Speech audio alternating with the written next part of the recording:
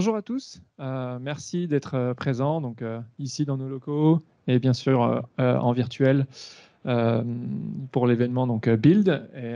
Donc, je suis aujourd'hui accompagné de Patrick Bross de Amadeus et on va vous parler d'API First, de stratégie API First, d'API en général. Et évidemment, c'est un échange, c'est une table ronde et donc on veut que ça soit le plus interactif possible. Donc, on va vous présenter des choses, on va vous parler de de, de, sujets. Et n'hésitez pas à prendre la parole. Euh, d'ailleurs, on vous invitera à, nous dire ce que vous pensez de, de ce qu'on vous présente. Donc, euh, avant de commencer, euh, un petit peu quelques mots à propos de nous. Donc, pardon, bah, Mac, pas tant que ça. Hein. je sais pas, j'ai appliqué une fois. Bref, mais il veut pas, non? D'accord. Je ne sais pas ce qui se passe. Euh, bon, rapidement. Bon, moi, je suis Nicolas Barasson à droite de l'écran. Je suis Cloud Solution Architect. Et vas-y, Pat. Et à toi Et moi, Patrick Bross, je suis senior expert en API euh, design et data modeling. Voilà, voilà. Alors pour commencer, moi je voulais partager avec vous quelques insights en fait marché sur les euh, sur les API. Euh, c'est quelque chose en fait euh, que, j'ai trouvé qui, est issu en fait de, rapports annuels du State of API reports de Postman, Rapid API et également Salt, qui sont des acteurs majeurs on va dire sur la scène API et donc qui tous les ans nous donnent un petit peu des insights marché par rapport à ce qu'ils observent des API. Donc le premier insight, euh, vous l'aurez deviné, si on est là, c'est que les API, ça devient, euh, c'est un sujet, ça devient un, sujet de plus en plus important euh, dans le monde logiciel, dans les entreprises. On observe que l'écosystème en fait est, global et qu'il croît d'année en année. Donc, je ne sais pas ce que tu peux dire là-dessus, Patrick, et également vous, si vous avez envie d'interagir, de témoigner de quelque chose. Est-ce que c'est un sujet important pour vous dans vos entreprises? Euh, ben, euh, de toute façon, ça va faire partie de la suite de la présentation. C'est sûr qu'on euh, va faire une histoire un petit peu du, cycle d'Amadeus au niveau des API. Et nous, on le vit tous les jours. Hein. On a besoin d'API surtout, même des outils internes, pour voir, pour la traçabilité de ce qui se passe et pouvoir mesurer, faire des analytics, etc. Donc, les API, c'est vraiment le, un point névralgique maintenant pour la communication. Ça a toujours été, mais euh, comme tu dis, c'est quelque chose qui, euh, qui, euh, qui, fait que seulement croître. Effectivement, ça, ça sous-tend sous finalement toutes les architectures applicatives modernes.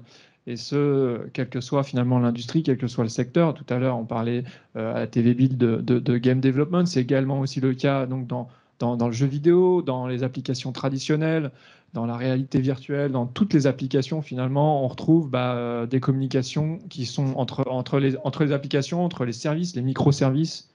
Tout à l'heure, Eric nous parlait de Dapper. Euh, tout ça, ça serait euh, pas possible sans, sans, les API. Donc en fait, c'est ce qu'on observe, c'est que le sujet grossit et que bah, forcément les développeurs bah, passent de plus en plus de temps sur les API. ça devient vraiment un, un sujet de, un sujet de prédilection. On, parle souvent de back-end développeurs euh, qui, bah, du coup, euh, finalement, leur rôle s'en est vu transformer. Maintenant, c'est beaucoup euh, des développeurs qui bah, passent un peu leur vie, finalement, à créer des, interfaces, des API pour pouvoir bah, fournir le service aux applications, enfin, aux front-end applicatifs, aux diverses applications qui, qui interagissent dans, dans l'écosystème.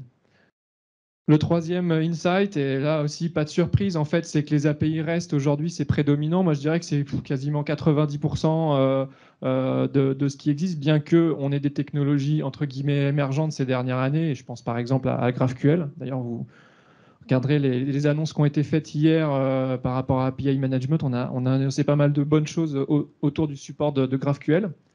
Euh, donc voilà, encore une fois, je ne sais pas Patrick, par rapport à ça, qu'est-ce que tu peux dire Oui, alors là, c'est très intéressant parce que derrière le, mot reste, en fait, il faut voir une chose, c'est qu'il euh, se cache le mot ressource avec le concept de, des machines, d'état et de state transfer. Et la ressource, euh, en fait, c'est une nouvelle façon de voir les choses, de présenter les choses pour être data-centrique. Et en fait, le changement, le mindset qui est en, cours, qui est en train de se passer, c'est qu'on n'est plus en termes d'offrir une fonction, mais d'offrir un, un, accès, un accès à une data. Et du coup, la data devient euh, finalement le, le, cœur de, de, de, de l'information et qui fait la, la, la, glue entre les, gens techniques et les gens fonctionnels. Et du coup, on commence à parler le même langage mm. au niveau de la sémantique. Euh, et, du coup, le, voilà, le concept de RESTful est beaucoup plus puissant qu'on puisse euh, l'imaginer. Et pour, on a l'impression que c'est derrière cet aspect ressources oriented, ça va être la, mère de toutes les euh, API du futur. En fait, tu parles de GraphQL, mais si on ne fait pas du ressource oriented, euh, le GraphQL n'a pas vraiment de valeur parce qu'il faut bien décrire les relations entre les, entre les ressources ou entre les objets. Et du coup, si on fait des queries multiples à, relations, le GraphQL le permet, mais il faut quand même quelque chose qui permet de décrire euh, cet arbre de relations. Effectivement, on va y venir. On va voir que euh, finalement, quel que soit l'outil qu'on utilise, REST, GraphQL ou d'autres, le design est super important. Euh, ce qu'on observe aussi, c'est que les API, donc là on parle un peu de technique, mais c'est avant tout, euh, à 50% un sujet technique un sujet business. Et euh, aujourd'hui, bah, euh, quand on parle d'API, on embarque quasi systématiquement les gens du métier, parce que la vision ressources, la vision data, on a besoin de, leur connaissance pour pouvoir être pertinent sur, sur, sur les API, pour pouvoir développer bah, une API qui est utile en fait, et qui sera utile. Euh, autre sujet euh, aussi très important, intéressant à noter, c'est que bah, les API gagnent en importance, euh, elles, deviennent vraiment la pierre angulaire bah, de nos applications et donc de facto, elles deviennent un vecteur d'attaque croissant. Donc ce qu'on observe, c'est qu'il y a de plus en plus d'attaques qui, qui, visent les API. qui rentrent en fait par des failles qui sont, qui sont, qui sont, qui sont basées sur, sur les API. Donc aujourd'hui, vraiment, plus que jamais euh, une vigilance sur, euh, sur ces aspects-là. Et euh, tu parlais tout à l'heure de data, de données, d'accès aux données via les API. Et, ce qu'on observe également de plus en plus, c'est que bah, les entreprises ont une richesse, c'est leurs données, et qu'elles veulent, bah, via, grâce, avec, grâce aux API, elles peuvent monétiser ces assets-là. Et alors directement, indirectement, c'est-à-dire directement en tirant enfin une contrepartie euh, monétaire, mais également en enrichissant finalement, euh, en gagnant de la valeur euh, au travers de partenariats. Donc en créant des, partenariats, en, ayant finalement un gain indirect parce qu'elle débloque des use cases qui étaient jusqu'alors impossibles à réaliser tout seul. Et grâce aux API qui connectent les business entre eux, bah, en fait, ensemble, on est plus fort, entre guillemets, et c'est ce que permet aussi les API. Donc voilà, c'était un petit peu en guise d'introduction ce que je voulais partager, ce qu'on voulait partager avec vous. Encore une fois, je pose la question, est-ce qu'il y a des gens qui veulent réagir par rapport à ça, qui ont euh, une expérience, un point? Je te donne le micro. Et, merci. Euh, moi, je viens de chez NJ. On a depuis deux ans une stratégie sur euh, le développement des API de le reuse. Donc, on a le même focus, mais sur des centres d'intérêt complètement différents. En fin de compte, nous, euh, le but, c'était en effet la monétisation sur le reuse. on a plus de 1000 applications qui tournent et on s'est aperçu que beaucoup de gens réinventaient ce que le, projet d'à côté faisait et que, euh, en fin de compte, il existait des API qui permettaient de simplifier largement le travail de certains projets parce que ça avait déjà été fait. Et donc, euh, notre démarche a beaucoup plus été de, de publier l'univers des API qu'on avait et faciliter chaque euh, acteur de, notre écosystème informatique à pouvoir réutiliser l'API du voisin. Mm. Je crois que ce que tu dis fait vraiment écho euh, à l'expérience de Patrick chez Amadeus. Là, je le vois depuis tout à l'heure euh, hocher de la tête. bah, c'est une bonne transition, je pense, sur ce que tu voulais nous montrer aujourd'hui. Et donc, je passe à la slide suivante. Je te laisse la parole. Donc on m'a pas permis de dessiner au tableau, donc moi j'ai préparé un, petit dessin avant. en fait, je vais vous raconter un peu l'histoire d'Amadeus sur, sur 25 ans. Euh, tu parlais de deux ans, mais en fait, euh, nous, ça fait partie l'API, fait partie de notre, euh, on va dire, DNA, et en fait, ça fait partie de notre stratégie. pourquoi? Parce qu'en fait, structurellement, on a cherché à sortir d'un système de mainframe. Et à l'époque, stratégies, la stratégie R&D a mis en place un système qu'on appelle Open Backend, donc des backends basés sur des machines, Linux. Et euh, l'idée est de dire, voilà, on fait des satellites autour de la mainframe. Et comment échanger l'information entre la mainframe et ces satellites euh, Il était décidé de le faire avec ce qu'on appelle des, API, internes. Et en fait, chaque nouveau projet, donc ça a commencé dans les années 2000, chaque nouveau projet euh, ou produit pouvait utiliser soit l'implémentation dans la mainframe si on voulait euh, avoir quelque chose de rapide, ou si on voulait innover, euh, passer euh, du côté open backend. Donc là, on est quand même loin en arrière. Hein. On est loin en arrière, mais n'ont pas connu cette époque. Mais, mais en fait, c'est pour dire, voilà, en fait, vraiment un sujet, ouais. nous, c'est quelque chose sur lequel c'était un passage obligé. Et vous allez voir, en fait, ça nous a permis de, de grandir naturellement, de grossir. Et ce que tu disais tout à l'heure, est-ce que les API permettent de grossir? Nous, ça nous a permis de grossir de façon naturelle en interne en mettant en fait entre chaque backend euh, des API systématiquement. Donc en gros, l'industrialisation des API chez Amadeus, c'est euh, complètement naturel. On a en gros des API pour tout et partout. Sur chaque fois qu'on veut échanger une information, on passe par une API entre, entre les machines. Et, juste, euh, pour insister sur le fait que les API, finalement, c'est pas quelque chose de nouveau. On en parle beaucoup parce qu'il y a le concept de, enfin, REST est arrivé dans les années 2000. Euh, donc il y a quand même 20 ans. Euh, maintenant, il a fallu du temps pour que les entreprises adoptent, etc. Il y avait d'autres technologies avant REST. Et donc, le concept d'interface, d'Application Programming Interface, qui est, l'acronyme d'API, date des années 70. Enfin, euh, les premiers papiers, les premières personnes qui ont pensé à ce genre de, mécanisme, en fait, conceptuellement, c'était sorti dans, ces années-là. Après, on a eu toute une période de la préhistoire. On ne va pas rentrer dans, la préhistoire des API. Ça peut être intéressant, mais. Ça fait, ça fait partie. Euh, chez nous, c'est complètement naturel. maintenant, les, API, euh, il n'y a, pas, a pas de. Et, en plus, c'était pour fonctionner en interne, mais il faut aussi fonctionner en externe. C'est-à-dire qu'en gros, euh, Amadeus donc, est une entreprise qui, gère énormément de, données provider du travel, aussi bien des compagnies aériennes, des, des hôtels, des hôtels chain des systèmes de voitures. Donc en fait, on fait de l'agrégation de données pour faire de, la vente et, de la réservation de, voyages, ce que vous avez besoin de faire régulièrement. Donc en fait, nos systèmes permettent en fait d'accéder à ces données euh, en allant soit euh, chercher des, données sur des providers ou euh, on a des systèmes d'IT maintenant. En fait, on a Airline IT, Airport IT, donc qui sont des solutions internes où en fait les providers peuvent venir poster leurs data chez nous et en fait ils peuvent, ils peuvent mettre à jour leurs données euh, à travers des API. Donc en fait, ce monde API euh, elle nous a demandé de faire ce qu'on appelle un homemade API management parce qu'à l'époque, il n'y avait, rien sur le marché hein, de très très puissant. C'était en quelle année ça à peu près? C'est les années 2000. Euh, moi, je fais partie du premier back-end qui s'appelle Car 2000. C'était le premier. Dans les années 2000. Les années 2000, c'est ça. Euh, et, en fait, euh, il n'y avait pas de système sur le marché pour faire de l'API management.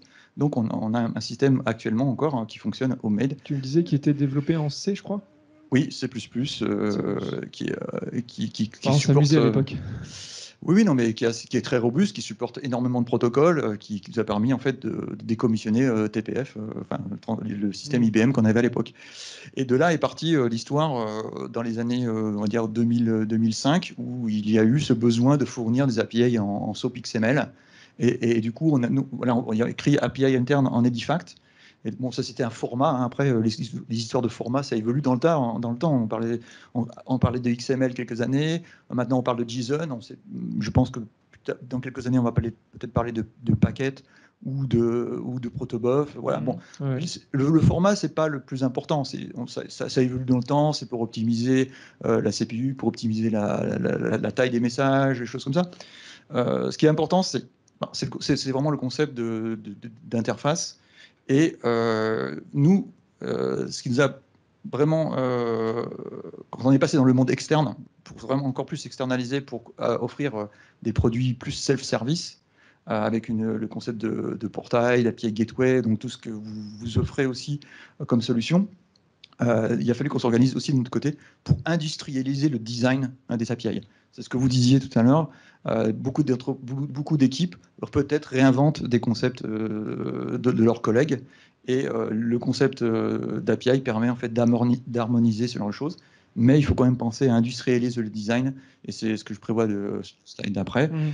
avec des outils comme, bon, je parle de Stoplight ou des, gateways comme Maintenant, on va certainement parler de Microsoft APIM, mais il y a d'autres technologies émergentes pour générer les, events, avec le concept de Publish and Subscribe, qui va aussi va en fait compléter les API parce qu'on parlait des API mais il y a aussi le concept de, d'API en concept asynchrone où en fait les événements vont venir compléter le concept de query reply.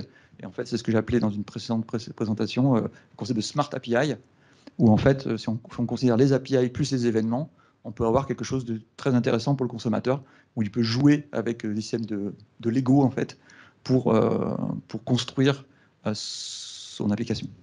Donc là, sur la slide, je voudrais juste faire un petit focus, alors non pas sur euh, Azure API Management, euh, effectivement, on est très content de collaborer ensemble sur, euh, sur la mise en place de, cette nouvelle solution chez vous. Moi, je voulais qu'on s'attarde un petit peu sur l'outil qui est un petit peu plus haut, qui s'appelle Stoplight. En dessous, il y a marqué design. Et pour ceux qui sont peut-être pas, voilà, qui ne connaissent pas l'outil, peut-être que tu peux présenter un peu, Patrick, ce qu'il fait. En, fait, c'est pas un outil Microsoft, hein, je précise. Oui. Euh, oui, après, on, peut, on, pourrait parler de Smart Beer euh, qui propose Swagger Hub, des choses comme ça. Hein. Je ne suis pas là pour vendre un, enfin, proposer un outil ou un autre. En fait, c'est plutôt le besoin. Euh, en fait, on, se focalise énormément sur la partie consommateur, ce qui est très bien hein, d'avoir un portail, d'avoir un API Gateway. Donc, c'est ce que nos utilisateurs ont besoin pour, bah, accéder à la documentation, etc.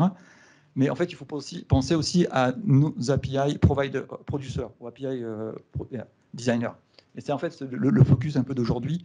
C'est un peu ça, de parler de ça. C'est comment aider nos propres designers pour un designer qui sont aussi souvent développeurs en fait. Enfin, oui, après les, les, rôles... les, rôles... peuvent être mixés, ils sont pas forcément mixés, mais euh, on va dire qu'un API designer a quand même un, un, bagage de développeur à la base. Voilà. Donc sur le marché, il n'y a pas beaucoup d'outils hein, qui sont, on va dire, à, un niveau de maturité qu'on pourrait, euh, qu'on pourrait attendre. Stoplight est l'un des plus matures. Euh, euh, d'autres, il y a Postman aussi qui se lance là, dans, ce sujet-là, oui, parce que Postman est très connu pour la partie shooting, pour faire des testings, mais je sais qu'il commence aussi à, regarder la partie écriture de documentation, etc., pour aider le designer. Donc en fait, ouais, la partie design est importante euh, parce qu'en fait, c'est ce qui nous, nous permet en fait d'aller plus vite dans la construction des API. Donc, est-ce que dans la salle euh, ou, sur, euh, ou, sur Internet, ceux qui nous regardent, il y a des, expériences, des, retours par rapport à, ces difficultés qu'on a des fois de designer en premier, design first, versus euh, l'approche code first. Je me lance dans le code de l'API directement, et puis la doc, on verra après. Enfin, la doc, je la génère grâce à des librairies, heureusement, euh, automatiques qui permettent de faire ça. Mais euh, je sais pas, en fait, c'est l'objet en fait, de la réflexion aujourd'hui. On voudrait vous sensibiliser sur cette démarche-là qui marche très bien chez Amadeus maintenant. Mais, on, l'a vécu en fait à la partie homemade. Donc, quand on parle de homemade, on parle transactionnel, etc. Donc, avec l'infrastructure opérationnelle. Mais euh, l'outil de design a, été inventé aussi euh, chez nous en homemade. C'est-à-dire que sur le marché, il n'existait rien, donc on a été obligé de tout inventer. Et on s'est rendu compte que cet outil de, de, euh, design était très important pour assurer une stabilité de, la continuité du design au cours du temps. homogénéité aussi. Et homogénéité. Et en fait, voilà, on a eu beaucoup d'investissements à l'époque sur les outils avec le format qui existait. Et on se rend compte qu'on a toujours ce besoin et il est important. Ok. Je vais passer à la slide suivante, Patrick? Euh, Oui, oui, c'est la, suite. Donc en fait, euh, quand euh, Nicolas m'a parlé d'API First, ça m'a tilté deux choses. Donc API First, c'était l'histoire d'Amadeus, c'était pour nous API First pour, pour notre infrastructure, ça nous a permis de grandir. Mais en fait, ce qui est important dans une, quand on parle API First, le, le, le, cœur du, de l'API Producer, en fait, c'est l'API Contract. Donc, ce qu'on appelle une Swagger ou un WSDL ou un Open, API spécification. C'est un document technique qui est human readable et euh, machine readable, qui est, lisible par un humain et par une machine. Et c'est vraiment le, contrat en fait euh, qui, décrit l'API et qui est vraiment euh, le cœur névralgique de toute la suite. Et en fait, ce qui est intéressant maintenant avec la nouvelle vision, donc là, je dirais API first, c'est de dire cette API contract, je m'en sers pour designer d'écrire la fonctionnalité et potentiellement de la mettre en mock-up server euh, avant de coder. C'est-à-dire qu'en gros, l'idée, c'est de dire euh, on pourrait prendre euh, un API contract, le, faire un mock-up server et demander au consommateur à tester l'API avant qu'elle soit codée. Avant que le, back-end soit avant soit avec la logique, etc. Parce qu'en fait, peut-être pour, pour, pour, l'auditoire, rappeler le concept de mock-up qui permet en fait de euh, en, fait, au niveau de l'API management, envoyer un jeu de données factice, euh, alors même que euh, derrière les backends ne sont pas forcément prêts. Ça permet d'accélérer les cycles de développement. Par exemple, ça permet aux équipes front-end de commencer à travailler. et donc ça, c'est super utile. effectivement, à la base, l'élément important dans tout ça, c'est le contrat d'API qui doit fondamentalement être présent. Hein. même avant de faire le mock-up, on doit savoir quelles données, quel jeu de données, dans quel format on prévoit du moins de les envoyer, enfin de l'envoyer. Donc, et, vraiment l'API, c'est comme pourquoi enfin, c'est si intéressant de nos jours, c'est vraiment une couche d'isolation entre le consommateur, enfin le producteur et le consommateur. C'est-à-dire qu'en gros, une fois que l'API est, est, décrite, les deux systèmes peuvent commencer à coder de leur côté normalement, le contrat ne doit pas changer. S'il change, il est versionné, etc. Et avec un système de versionning, on peut basculer sur des nouvelles features, etc. Donc le contrat est vraiment important. Et en fait, il faut l'utiliser euh, tout au long du cycle de, développement. Donc, en termes d'API first, c'est euh, l'un des challenges dans, nos équipes, c'est de commencer à designer avant de, coder. Euh, pourquoi? Parce qu'en fait, on peut fournir en spécification à nos consommateurs, en projet, quelque chose euh, qui, qui sera disponible finalement que dans plusieurs mois, le temps d'implémenter euh, toute la solution. Mais finalement, enfin, c'est du bon sens, moi j'ai envie de dire. Euh, qui se lance enfin, quel, projet avec, avec, enfin, qui, qui, rencontre un succès, qui, est un succès, et qui passe pas par une phase de réflexion qui passe directement au code. Je ne suis pas d'accord parce qu'en fait, on, on, demande aux personnes de travailler en mode agile et quand, tu, toute la première réflexe de faire en mode agile, c'est de faire un prototype. Et après, de construire autour de ce prototype et, de grossir, de grossir. Le problème, c'est que au sein d'une API, euh, quand vous cassez l'accord de compatibilité de votre API tous les, tous les mois, si vous avez un sprint d'un mois, à vos clients, enfin, le consommateur, même si vous en avez un seul, et même si c'est votre collègue euh, de l'équipe d'à côté, il va devenir complètement fou. Non, mais oui, alors, c'est vrai que tu as raison de mettre un bémol là-dessus, parce que euh, code first, c'est très bien pour effectivement démontrer rapidement la valeur, faire un premier proto. Mais bon, sur le long cours, on s'essouffle un petit peu parce que euh, va nous manquer finalement la phase de réflexion. Mais euh, je pense que on a notre euh, ami Denji qui a envie peut-être de réagir là-dessus parce que je crois qu'on a eu une discussion hier à ce sujet. Que nous, en effet, le, code first, c'est un vœu pieux. Je, ne dénie pas le fait que ça a plein le design first. Le design first, ça a plein de qualités. Mais la réalité fait que c'est du code first à l'arrière. Il y a, peut-être un, départ qui est du, code, du, design first, mmh. et puis après viennent euh, les évolutions, les modifications. Et en effet, on est dans une stratégie de code first euh, au quotidien. Du moins, nous, c'est ce qu'on gère au quotidien. C'est-à-dire mmh. qu'en effet, les API ne sont pas designés dans les règles de l'art parce que, comme vous le dites, c'est des protos qui démarrent. C'est plein de petits projets qui démarrent au début pas du tout avec une stratégie d'API producer. C'est surtout des, des, applications trois tiers, donc où en effet il y a une couche d'API qui se met en place. Et puis petit à petit, le projet d'à côté voit que euh, son copain a une application qui gère des données qui l'intéressent bien et il va venir se greffer dessus et la relation commence à se faire à ce moment-là, plus par opportunité que par un design, une réflexion voulue dès le départ. Ouais, ouais, c'est. ce que vous décrivez est, très bien en, interne, mais dès que vous êtes avec des consommateurs, c'est une autre histoire. Donc, effectivement. Et là, vous, vous avez besoin de gérer deux projets en parallèle et, la relation change complètement. Et, le contrat a son sens parce qu'en fait, il faut vraiment euh, s'assurer qu'on soit bien compris au départ sur le requirement et l'avantage de l'API Contract, euh, l'API Design First, permet de stabiliser le requirement. Parce que souvent, on a une idée du, du, besoin client, mais euh, on commence à le concrétiser euh, dans la vie de tous les jours, on se rend compte que l'idée de départ n'est finalement pas l'idée d'arrivée.